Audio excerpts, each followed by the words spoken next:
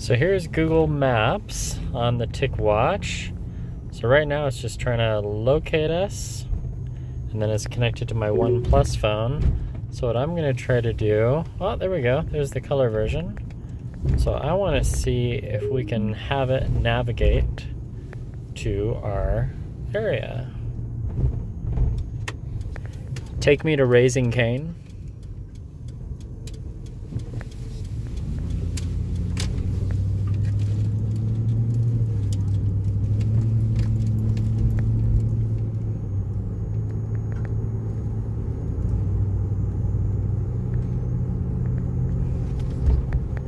Take me to Raising Cane.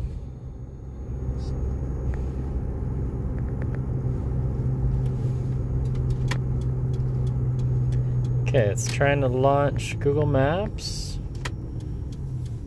And I don't know there, Greg. Looks like it's frozen to me.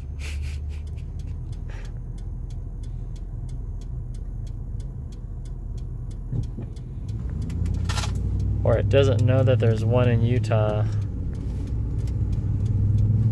Nope, wants to take me to Nevada or California. Okay, so now we'll try on the phone. Take me to Raising Cane.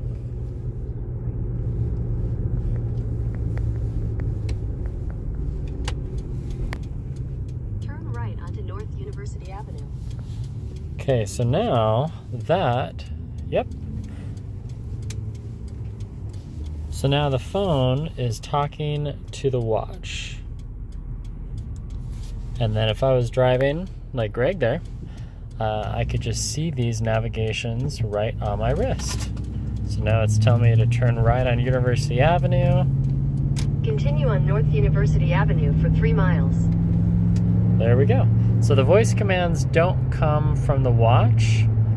I'll try. I'll try again as I'll pair a pair of head. I'll pair a pair. I'll connect a pair of headphones to the watch and then see if I get audible commands as well as the little pop-up commands on the TicWatch. So still kind of cool that it does have those little commands.